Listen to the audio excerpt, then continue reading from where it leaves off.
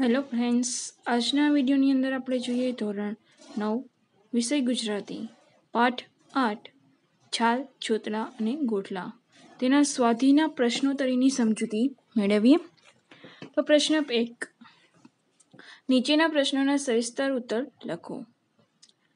પહેલો પ્રશ્ન, જીવ દયા પ્રેમના નામે લેખક આપણી કઈ નિંબળાઈ તરફ ધ્યાન દોરે છે?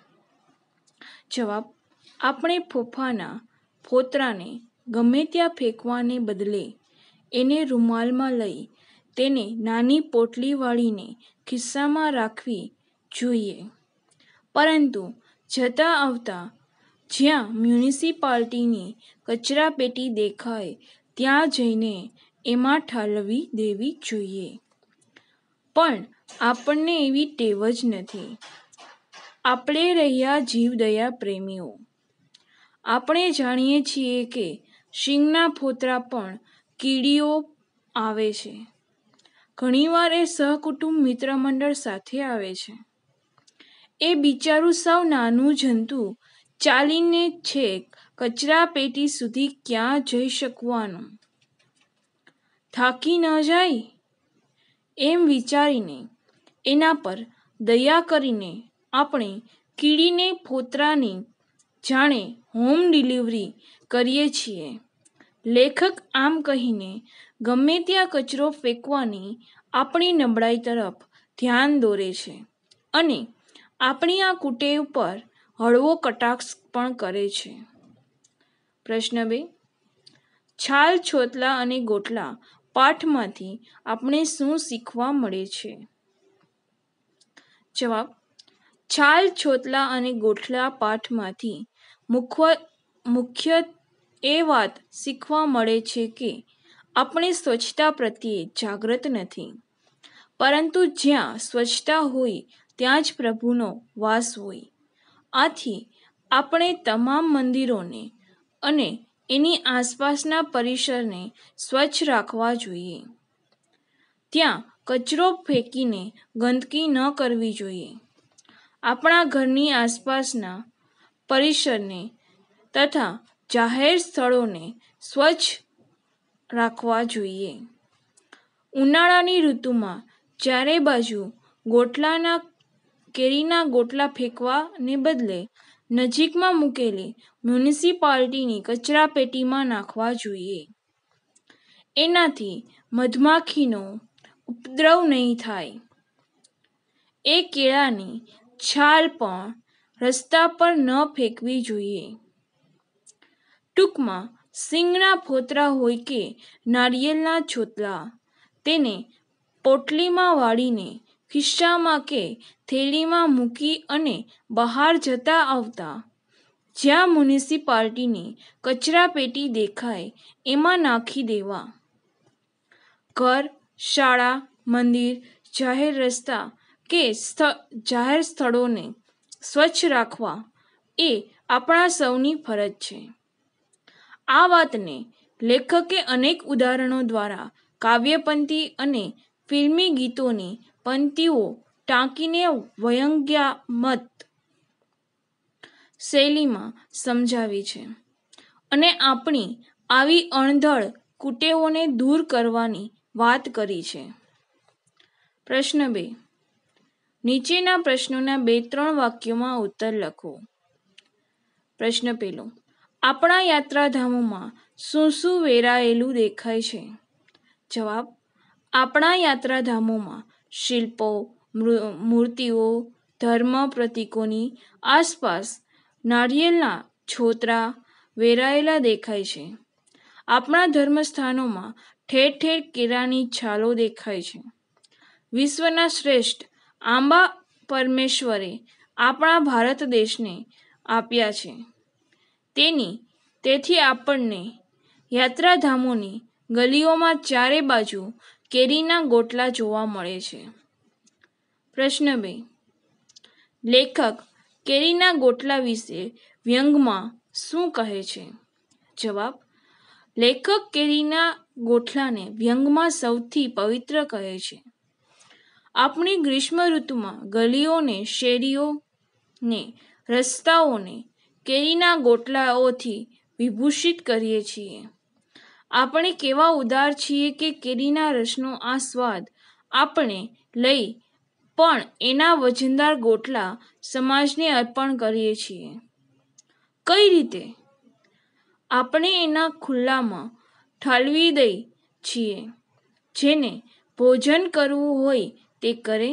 ખાસ કરીને ગોટલા પૂરતી અડધી કેરી આપણે ગૌ માતાને અર્પણ કરીએ છીએ. પ્રશ્ન ત્રણ. કીડીઓના પરિવારની લેખકે કઈ ચિંતા વ્યક્ત કરી છે? જવાબ. લેખકને કીડીઓના પરિવારની ચિંતા છે, કારણ કે તેઓ જીવદયા પ્રેમી છે. આપણે સિંહના ફોતરા રૂમાલમાં લઈ એની નાની પોટલીવાળીને ખિસ્સામાં મૂકી દઈએ અને રસ્તે જતા આવતા મ્યુનિસિપાલિટીની કચરા પેટી દેખાય.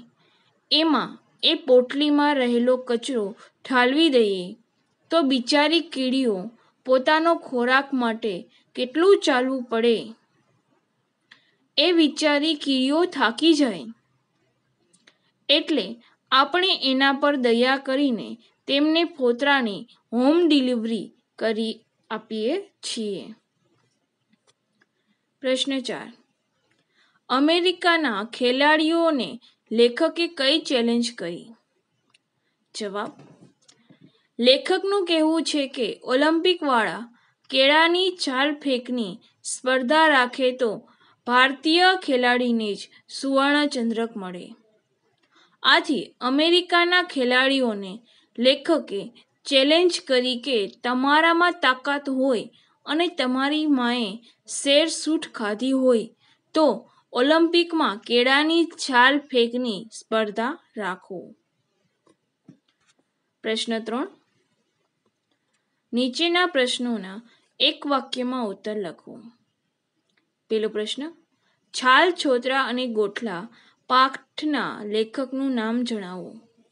જવાબ છાલ, છોતરા અને ગોઠલા પાઠના લેખક બકુલ ત્રિપાઠી છે. પ્રશ્ન બે, છાલ, છોતરા અને ગોઠલા પાઠનો સાહિત્ય પ્રકાર જણાવો. જવાબ, છાલ, છોતરા અને ગોઠલા હાસ્ય નિબંધ છે. પ્રશ્ન ત્રણ, બકુલ ત્રિપાઠીના મતે ભારત દેશમાં આપણે કઈ નવી સંસ્કૃતિ વસાવી છે? જવાબ, બકુલ ત્રિપાઠીના મતે ભારત દેશમાં આપણે છાલ, છોતરા અને ગોટલાની નવી સંસ્કૃતિ વસાવી છે. પ્રશ્ન ચાર. વિશ્વના શ્રેષ્ઠ આંબા આપનાર પરમેશ્વરને આપણે આભારવશ થઈને શું અર્પણ કરીએ છીએ? જવાબ, વિશ્વના શ્રેષ્ઠ આંબા આપનાર પરમેશ્વરને આપણે આભારવશ થઈને ગોટલા અર્પણ કરીએ છીએ. પ્રશ્ન પાંચ. બકુલ ત્રિપાઠીના મતે મગફળીના ફોતરા આપણે ક્યાં વેરીએ છીએ?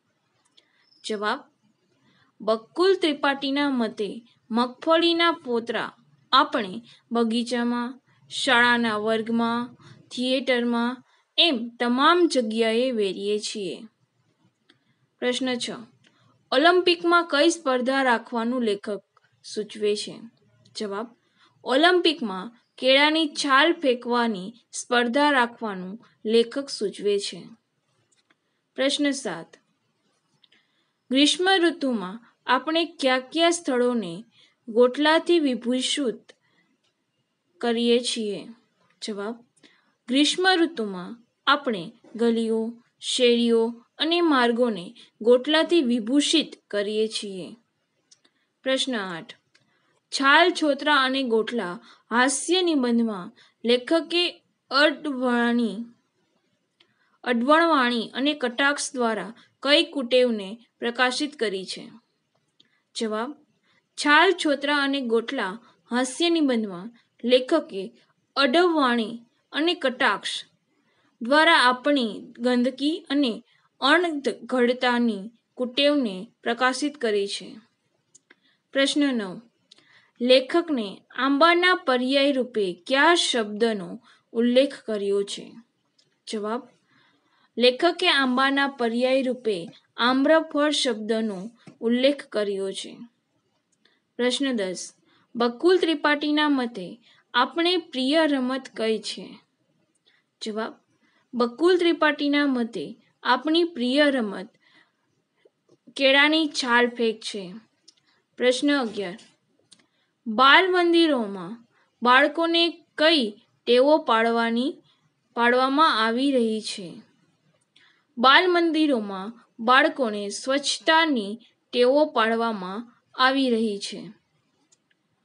જો તમને અમારો આ વીડિયો પસંદ આવ્યો હોય તો અમારી આ વિડીયોને લાઇક કરો, શેર કરો અને અમારી આ ચેનલ સીડી એજ્યુકેશનને સબસ્ક્રાઇબ કરી તેના બે લાઇકન ઉપર ક્લિક કરવાનું ન ભૂલશો. Thank you for watching this video